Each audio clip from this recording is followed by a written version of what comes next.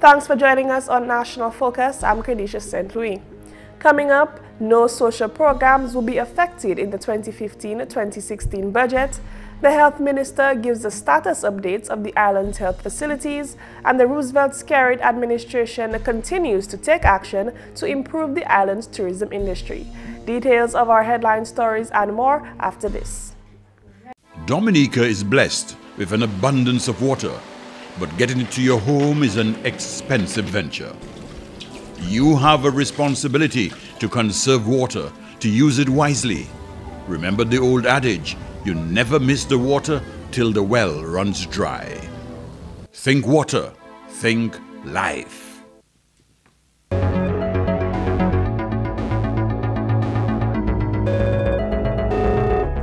Thanks for staying with us.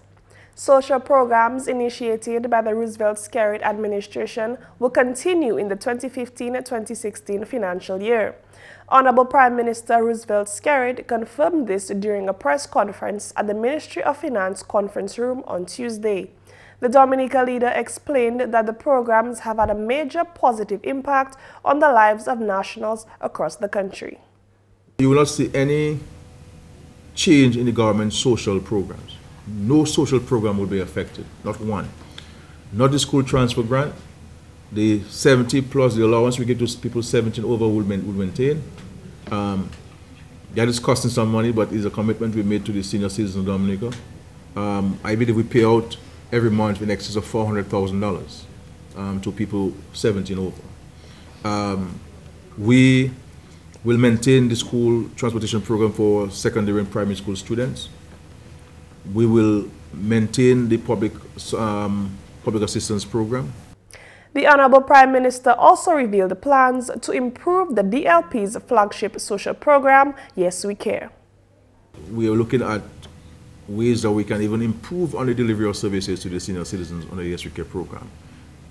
Having done a review of it, um, there'll be some changes made, but changes to enhance the program, um, not in any way to affect it negatively, but to enhance the program. When a newly installed health minister, Dr. Kenneth Darroux, began his term in office, he started off by visiting health facilities in each health district on the island. That complete, the Honorable Minister is now reporting his findings from those tours, as well as updates on the status of the island's three hospitals. Plans for the new Princess Margaret Hospital are currently in advanced stages. I know that um, we, we, the country had been promised a new hospital, work to have begun in the first quarter of, of, of 2015. And uh, we're not going to shy away from this. It has been on the public record. Um, but since taking over the reins as the new Minister of Health, I felt it necessary to, to make sure that we get this very, very important project, get it right. Um, because a new hospital doesn't come every year, neither every decade, maybe every century. Mm -hmm. Our current hospital is probably over half a century old. Yes. So after reviewing, um, after reviewing all the documents, um, I did the project brief, as it's called, the project folder. Um, we felt that there were certain um, certain changes, additions that was critical the minister revealed that some of the amendments to the plans involve a suitable ward placement, increased pharmacy space, an office for the health information unit, an infection control unit, and geography space, and others. Honorable Darroux emphasizes that while these adjustments are resulting in delays, it is nonetheless important that every detail receives adequate attention. We did not want just, as I said, just a, a a new infrastructure. We wanted it to be functional, something that both the Chinese government, the, the, the grantors, and ourselves as grantees, the project that both of us could be, could be proud of. So I say all this to say that since then, we've, we've, we've communicated to them as to some of the changes or additions we felt were necessary um, for, for this new hospital to be fully functional. We living in 2015, people. Um, they've gotten back to us as to their suggestions as to yes this can be done as to yes this can be done but in such a way. And right now we're in the process of just of, of, of, of, of reviewing. Further the minister says government is wisely consulting with other experienced partners we also sought um, outside outside um, advice from from UNOPS, United Nations Office Office for Project Services, um, from with the help of our friends from PAHO. They also came in, took a look at the plans and advised us accordingly. So we felt that it's critical that we address some of these concerns that were mentioned, both by the users, meaning our health practitioners here, the people who are going to use the hospital, and also the experts from the from the outside. So this is where we are now. Meanwhile, the Marigot Hospital continues to be another subject of government's attention in the coming weeks. Building a new, a new hospital at Marigot is still on the government's um, is still a policy decision that the government has undertaken. If you look at the Labour Party administration manifesto, that a new hospital for Marigot is to be built um, for a number of reasons. The main one, of course, being the, the location, um, the current airport, and even the, the, the, proposed site is going to be in that part of the of the new airport. is going to be in that part of the country. So a new hospital for Marigot is still on the cards. Um, however, of course, with the advent of the new PMH, you would understand the logistical nightmare that would create in terms of delivery of services, of trying to build a main hospital and a, and a hospital at Marigot at the very same time.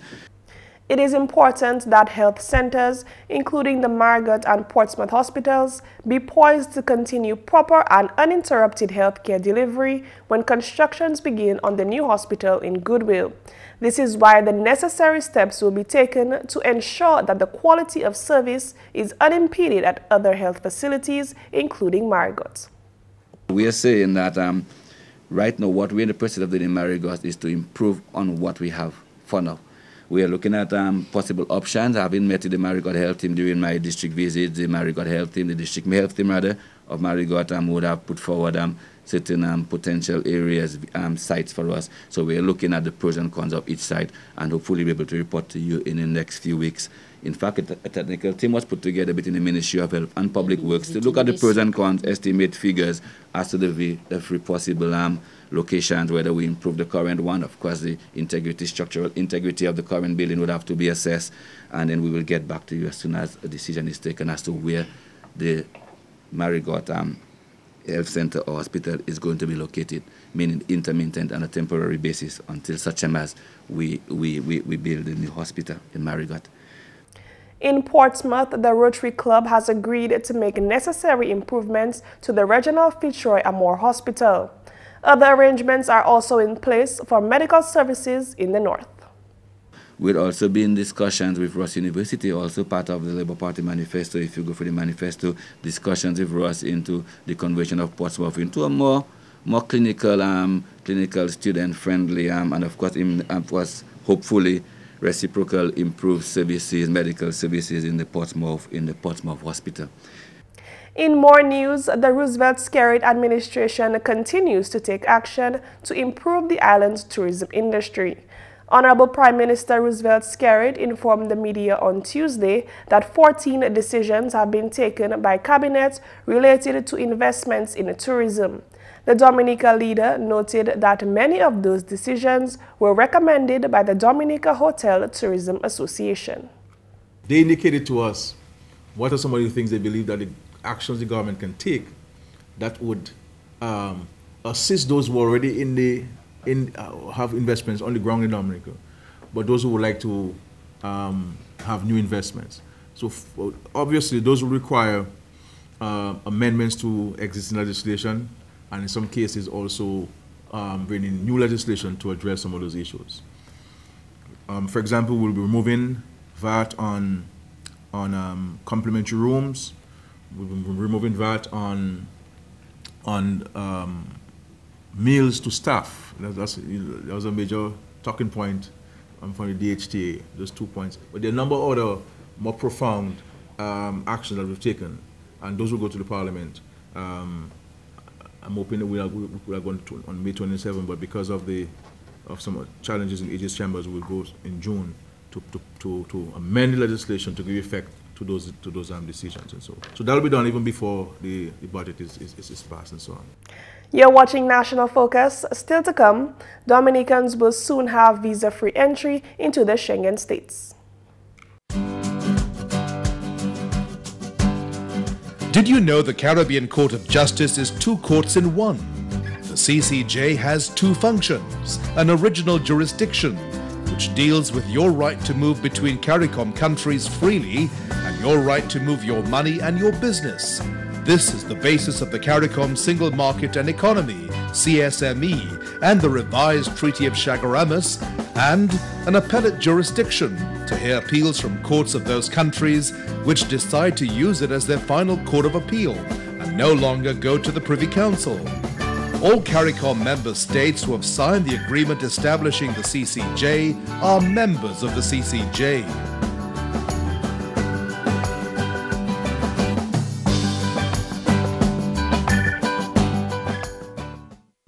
Welcome back. The European Union of Ministers have set a date for the signing of an agreement to allow Dominicans visas of free entry into the Schengen states. Honorable Prime Minister Roosevelt Skerrit confirmed to reporters on Tuesday that the agreement will be signed on the 28th of May 2015. We are very grateful for the European Union for this um, decision. It would mean, therefore, now, um, post the signing, that persons who are holding a Dominican passport, whether it is a diplomatic service or, or ordinary passport, would be able to travel to the Schengen states, to France, to Spain, uh, to Greece, um, uh, and, and, others without requiring a visa. I believe this is, this is great news for all Dominicans. Um, it would certainly um, facilitate um, our ability to travel and um, we want to thank the the European Union for for, for this. And certainly, it it, it it it will it demonstrates the the level of relationship which we have with the European Union, um, the respect that they have. Because understand this: this visa this visa free is not hasn't been taken lightly by the European Union. They have to do their own independent investigation and assessment of the security of your passport. They also ask questions about our economic stability program. Um, look at the system, look at the due diligence process. So a number of variables were taken into consideration um, in granting us that um, opportunity to travel to the Schengen states uh, without requiring a visa. In more news, Dominica's Chief Medical Officer, Dr. David Johnson, has announced that Dominica will benefit from a UK-based project that will improve health services here. At the Ministry of Health press conference last week, Dr. Johnson reported that Dominica plus three other OECS countries will improve their health services from the 8 million pound project. And one last thing in terms of closing, um, a lot of things are also happening in the, in the, Ministry of Health. The Minister has spoken with regards to climate change and health and, for, and Mr. Mr. Geese as well. But I should also let you know, in terms of breaking news, that Dominica together with with with with um, three other OECS countries, that is um, St. Vincent, St. Lucia, and Grenada, are, are, going to benefit from a project referred to as a SMART project. Uh, the project is worth or, or 8 million um, um, pounds, and Dominica is actually standing to benefit of a, a one point, will be getting one point, uh, one and a half million um, dollars to, to actually benefit from the SMART project. That SMART project has three components. Um, one, in terms of disaster safety for healthcare facilities. Um, two, in terms of addressing the whole question of potable water and, and, and hygiene, and also looking at energy saving. And finally, this news time, the Ministry of Tourism's Community Tourism Expansion Program has reached the Marigot constituency. Residents there can now benefit from a new tourism information center to promote the tourism aspects of their community. GIS's Tasia Flosak files this report. On Monday, May 11th, ribbons were cut and keys presented for the official opening of the Marigot Tourism Information Center. This will mean that people of the area will have an avenue through which they can be community employed in tourism. The Honorable Minister for Tourism, Senator Robert Tonge, wants to enable more of these moves across the island for the purpose of both employment and tourism. He also says it is important to note tourism's linkages with other sectors, particularly the agriculture sector. We have the most amazing meals, and that is how we have to begin to tie in our tourism product with also our agricultural product. They really go hand in hand, because if I come to Dominica for one day, I must have breakfast, I must have lunch, I must have dinner. And normally that equates to about, I think about 20% of what people spend. So last year people spent $340 million in Dominica. If you take 20% of that, that's about 60 something million dollars. That technically goes right back into our agricultural um, produce. So there are many, many linkages um, to agriculture. Someone goes out to fish, he has to buy, he has to build a boat, he has to buy wood, he has to buy nets. He must purchase these things from somebody else. People must be employed to do that. Before he goes out into that ocean, he must um, top up his phone. He must buy water. So again, you can see economic activity going through all, the, all, all the time. When he comes back from shore, he's going to sell the fish to either a restaurant or to a hotel or to an individual. If he sells it to a restaurant, it means you're going to have guests who are going to, who are going to buy the food. In order to buy the food, what has to happen? Somebody has to prepare it. In order to prepare the food, somebody has to be employed. So again, employment.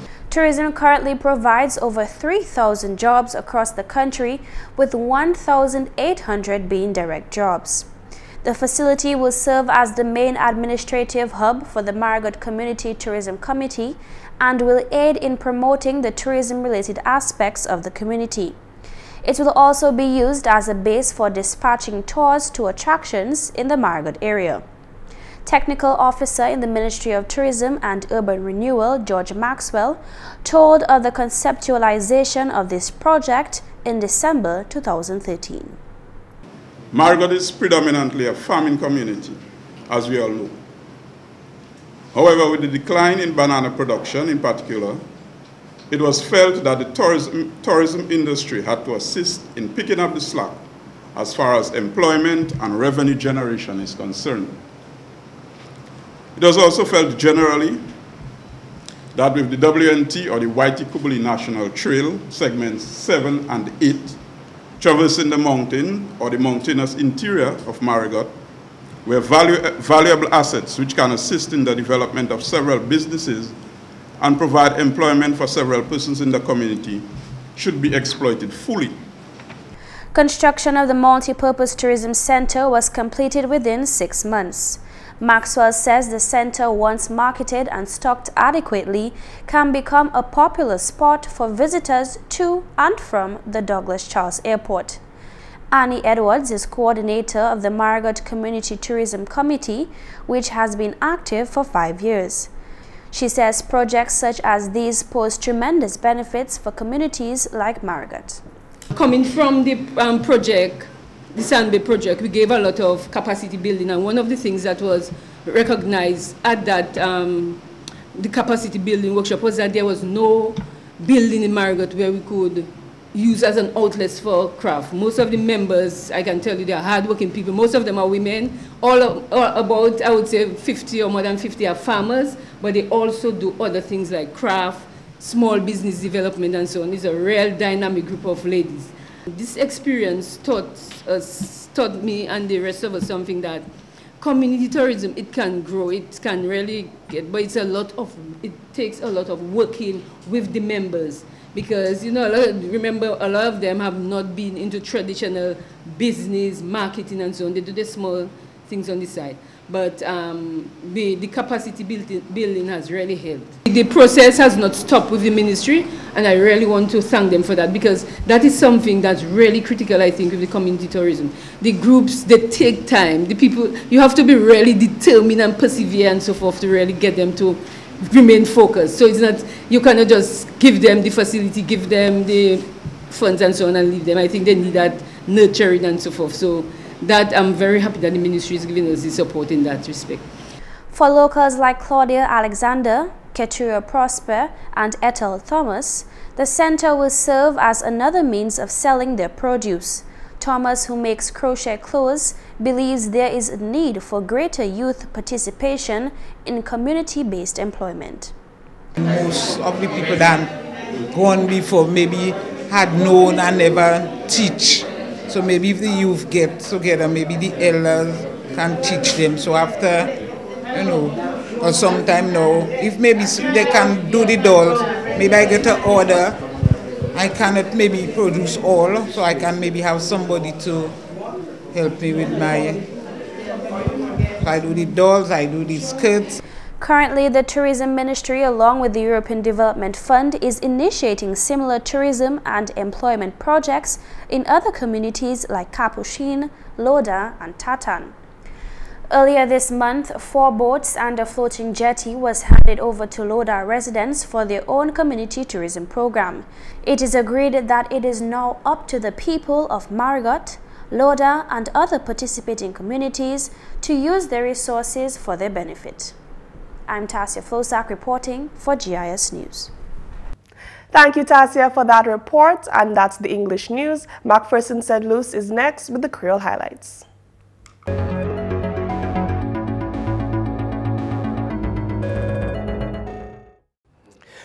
Allô tout le monde, bienvenue à cette nouvelle en créole. Non, moi, c'est McPherson St. Luce.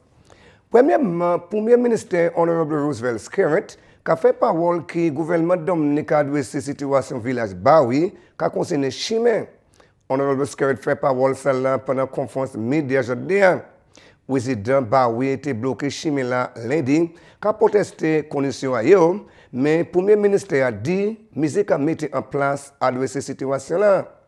On la jen hod um, European Union, on a ban la kompany measures. So, chimè Bawi epi ka ou Euh, um, se yon se chime la ki ke travay, ke tape, ke benefise. Men, um, program hod European Union la kapan loutan. Sa govèm a di, ene yon de chime kontan, euh, chime Parhom, chime Salisbury Heights, chime euh, Heights an Kalibishi, Nou ke fè certain intervasyon. kon nou ga wespewe European Union la. E pi mwen ale la deja, mwen ale Bawi, mwen ale Karou, mwen vwe Shimelan. La. E pi mwen ka panse mwa sa la, mwa me, nou deke komanse wanje yon de plas an chime la. Pou fe chime la pli meye pou se famaz la. Kon nou ka wespere l'ajan la hod, proje la hod European Union ki ka pon an loutan. So sa se biten mwen jan di publikman. E pi pasa kouman fe moun pa de sa pou sa. Poumye minister a mensyone dot proje pou bati. Nou ka to abaya se plize proje projet hôtel, aba ah ben, um, CDG um, investment program là. Comme ça, l'hôpital là, c'est um, chinois là, c'est chinois là, dit nous, ça a commencé chez moi là, um, um l'hôpital là, en mois juillet, um, nous avons um, um, break ground, qu'on a dit, en mois juillet. Um, yo, ça fait tout ça, yo, si vous faire, nous n'ayons des difficultés et puis, et puis plan là, nous ça, écouillons, écouillons, nous vivons. So nous, nous prenons des discussions entre nous deux puis nous qui ajoutons ces problèmes ça là. So nous nous nous avons essayé pour faire tout ça nous pour faire pour pour commencer euh, l'hôpital là en mois juillet puis sont sont bons sont importants un projet très important. Ah, puis quand on sait l'hôpital là présent il pas bon pièce. Mm-hmm. Um, c'est notre là c'est docteur là c'est ministre santé qui a fait tout ça ça fait mais on on nous prenons un bâtiment neuf un hôpital neuf. Um, ou la ou sa ba meyen servis um, pou publik Dominik. Anot nouvel, Dominikien ki ka soufen epi diabetik fote, ki e tout suite tape asistans medikal silon an program ki Ministre Santé ka kondwi epi Cuba. Parol san la sote yon Ministre Santé, Honorable Dr. Kenneth Adaru silon an vizit pou Cuba. Nou vizite yon de dot an biznis an medik, Eve, um, yon, yon de yo se, se, se, se an, an, an, an medisen ki Cuba um, ini koumen nan de sek, pleki sek, pleki sek nan de Cuba develope, um, develope um, um, medisen sa kwe Robert Potpi. Eve kon nou we kon tout se studies la ki zafen an Cuba, eve region, eve, eve, eve ple, ple, ple, ple lwen. In, in yon de peyi moukwe, um, yon de peyi Europe moukwe ki, ki, ki, ki komanse, ki komanse utilize sa. Sa se pou trete an moun ki ni diabetic food, sa se yon se komplikasyon hot diabetes. Eh ebe, ebe eh se, se, se etudyar yo ja fe an motwe ki, ki sa, sig, sa, sa, sa nam disminue, disminue, am um, signifikaman am, um, am um, insidens am um, amputation a de moun ki ka, moun ki ka ram, moun ki ka soufer am eve, eve kam diabetes. Epi finalman, Dominique Monche epi Weston Latte pou selebouye Jouni Internasyonal NOS ki selebouye jodea. An Dominique, Ministre Santé kolabowe epi Asosyasyon NOS ou la yo ka organize pleze aktivite tou lang simen sa la. Kanmem si lan chef ofisi nos Letitia Lestrade-White, se aktivite la aktuanman koumanse ledi li 11 me lani 2015, an pami an gwan la mes an goodwill epi kompetisyon public speaking. White osi fè pawol ki aktivite ki meti atensyon nos ki ni outan esperyans, editje jen nos manye pou manaje epi wisos yoni pou delivwe an men servis santi ba publik la. Mese menam, sa se tout pou nouvel an kroyol pou aprezen. Non mwen se mak fosen sen los. Au revoir. Tips on how to stick to your budget up next. Get in and fasten your seatbelt, okay? Mom, why do I have to wear seatbelts? I do not want to. James, when I ask you to fasten your seatbelt, please do as I say. It's for your own safety and protection, okay? Yeah.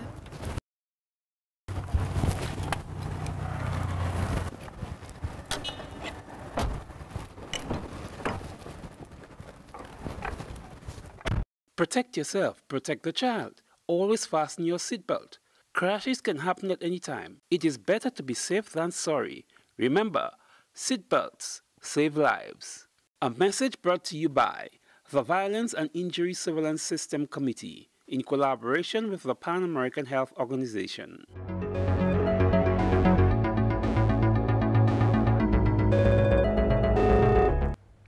Creating a budget can be a frustrating task, and staying on budget can be even harder. Once you've created your budget, it's important to stick to it. Here's a tip to help you stick to your budget. Determine the amount of your budget that you can afford to save each month and have it direct deposited into your savings account or to your mutual fund. Wherever you decide to keep your savings, make sure you put money into it every month. And that's all for this edition of National Focus. We always welcome your suggestions and comments. Drop us an email at gisdominica.gov.dm or visit our website news.gov.dm. Like our Facebook page, facebook.com slash gisnewsdominica, and follow our Twitter at gisdominica. You can also catch up on past National Focus newscasts on our GIS Dominica YouTube channel. From all of us here on the GIS News production team, I'm Kerdisha St. Louis. Thanks for watching and do join us next time on National Focus.